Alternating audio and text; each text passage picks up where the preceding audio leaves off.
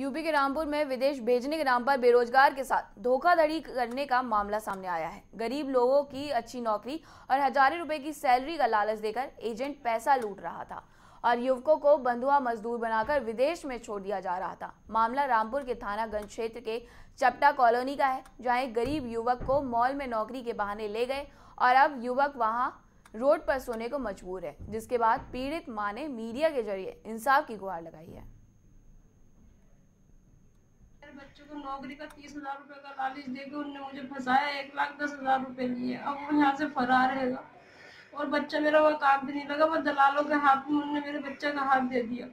अब वो जो है बच्चा मेरा उन्होंने रूम पे से भी निकाल दिया दर दर की ठोकरे खा रहा है। मैं खाने को है ना पीने को है ना उसके पास पैसा है कोई।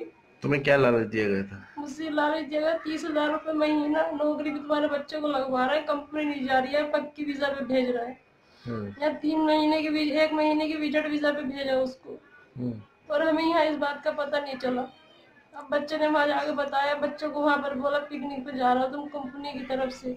बच्चों को वहाँ वीज़ा पक्का कराना झूठ बोल के ले गया वो। और बच्चा जब वहाँ से आया अब उससे कहता है कि आठ